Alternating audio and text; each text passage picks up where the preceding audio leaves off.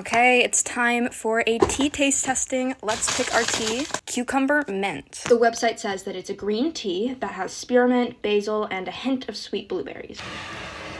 Feels weird pouring tea into the water. However, I had to like transport this from downstairs.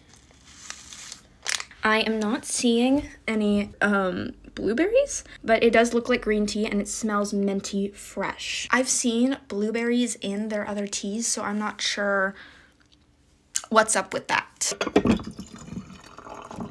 I really like mint tea, so uh, here we go.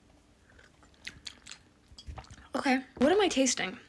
It's the basil. Oh my god, I'm getting basil, mint, no blueberry. It's not sweet at all. I feel like I'm tasting something else though. Is that the blueberry? Can't be. There was literally no blueberry in that tea. I gave it a two and a half because it's really good. Yeah, it's just green tea and basil and mint.